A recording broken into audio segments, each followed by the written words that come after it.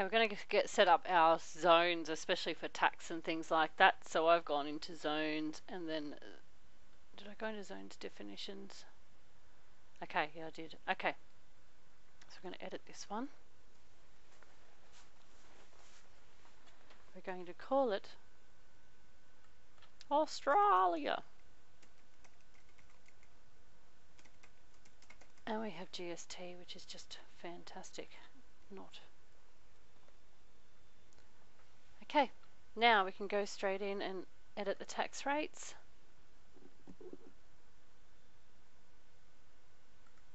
We need to define our zones first. Oh no, let us do that. Okay. And we edit.